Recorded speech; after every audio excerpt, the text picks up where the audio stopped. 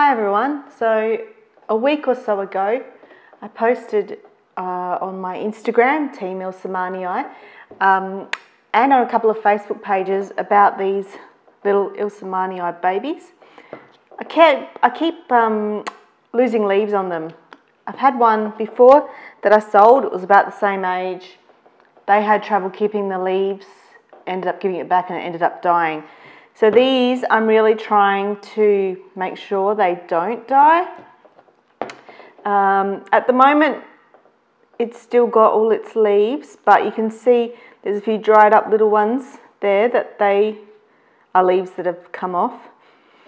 Uh, it's not the oldest leaves that it happens to, it's the ones in the middle, and it still puts out new leaves as you can see there. This one too,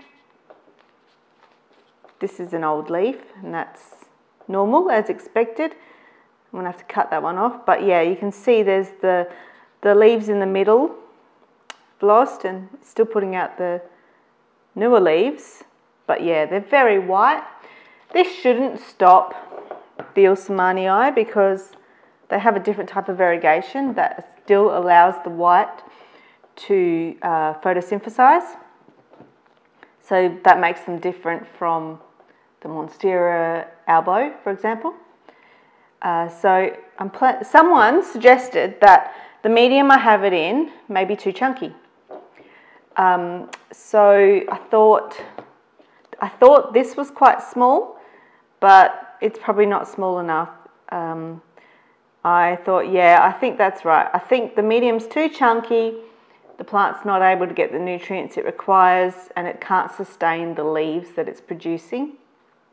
So I thought today I'm going to unpot them, look at the roots, make sure they're all okay, and then repot them in some finer medium.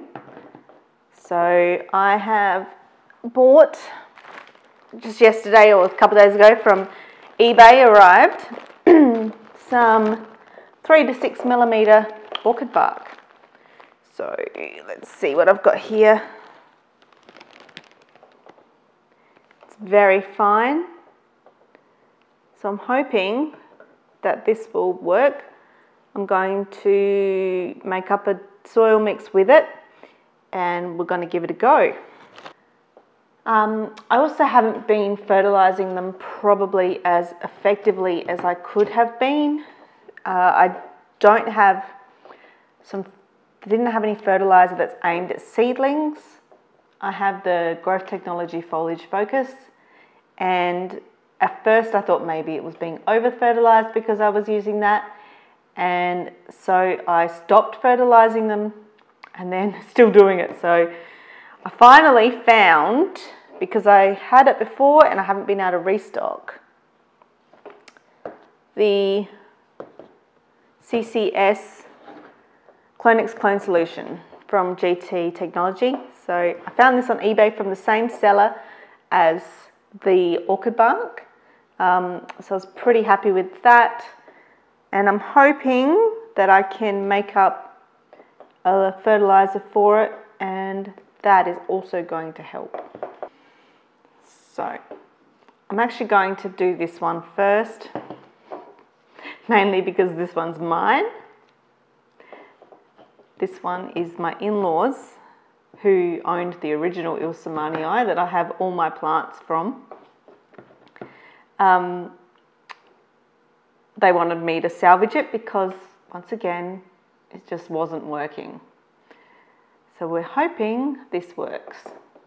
So I'm going to take these out of the pot now. Let's have a look. Support them as I tip.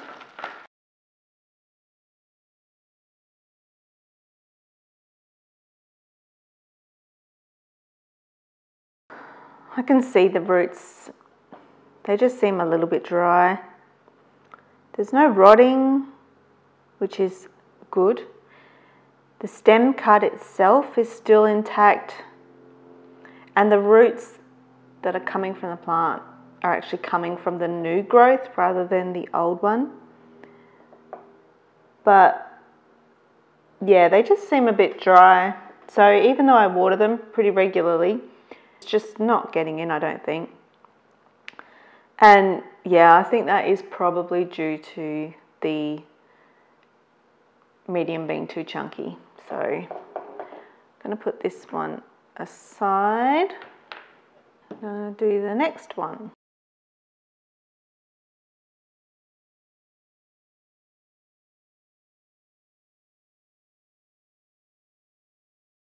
Very similar situation, however, this one doesn't have many roots coming from the actual plant. This one's coming from the old stem cut. So I think I'm going to have to make sure that the newer plant is buried in, probably up to the, maybe get rid of that first leaf and plant it in a bit to make sure that we've got some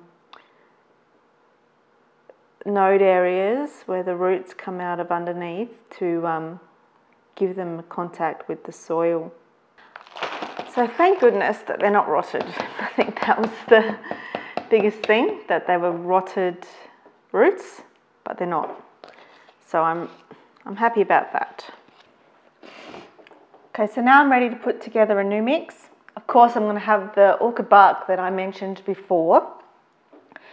Uh, in it, I'm also going to add,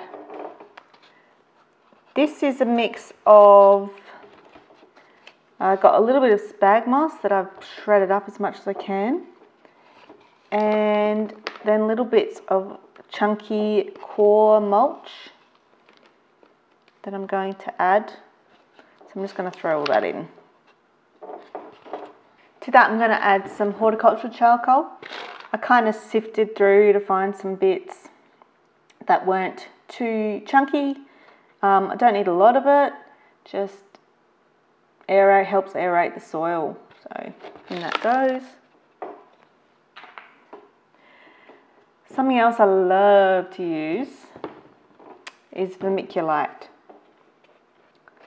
Um, these little bits of I don't know, they remind me of porridge or something, muesli. um, but I find it, they absorb moisture really well, um, but, and, but they, can, uh, they continue to keep the soil aerated.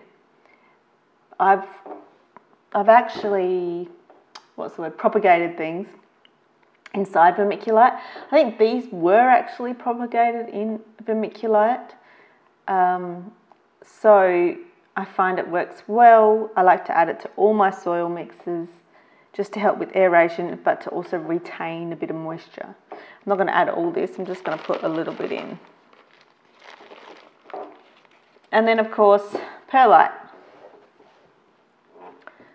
Same as vermiculite, retain, um, aerates the aerates the soil but also seems to hold water a little bit on the surface. I don't like it as much as vermiculite, but I use it as well. Just to add a little bit in there too. As you can see. Now to that, I'm going to add the um, the orchid bark.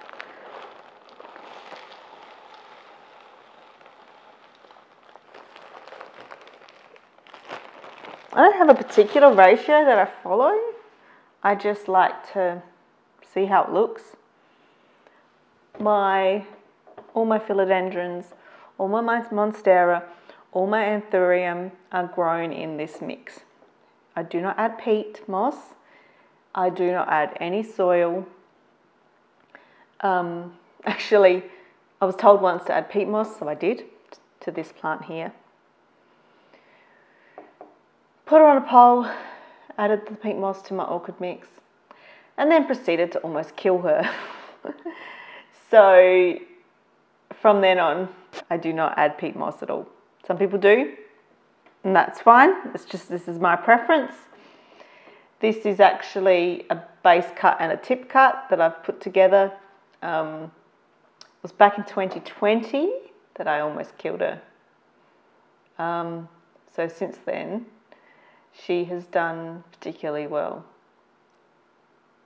Took, took me a while to rehab, but she's there and growing very happily on her pole. So I'm so pleased. All right, I'm gonna mix this up.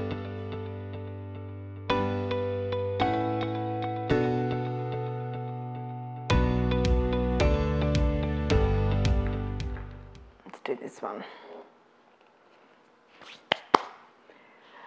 Did I? Hmm. Now I think I'm going to bury it up to here.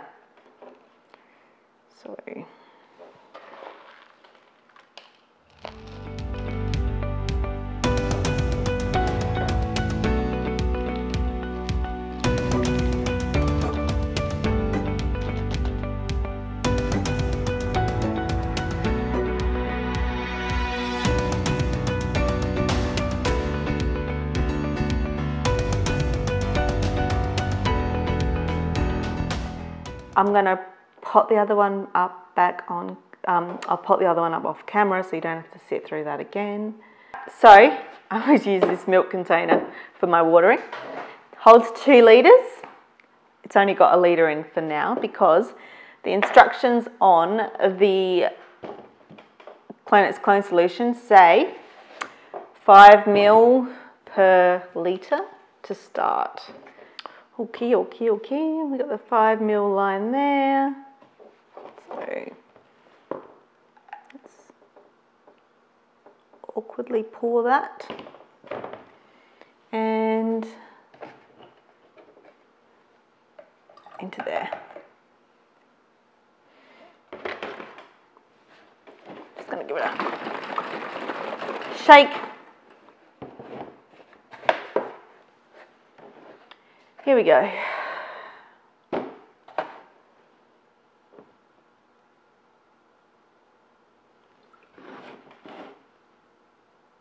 Pouring that in, I can already see that the water's not running through quite as fast as it normally does in the other mix. This is how I water all of them. I usually tip the water through a couple of times.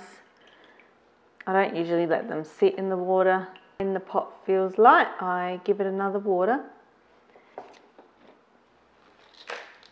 So that'll probably be about a week. If you want to see how this baby goes, whether we have an improvement, I will do another follow-up video showing her progress. So if you want to see that, make sure you subscribe and we'll catch you then.